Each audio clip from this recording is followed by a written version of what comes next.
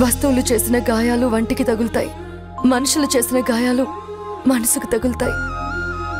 ఈ తాళి నా ఒంటినే గాయపరిచింది.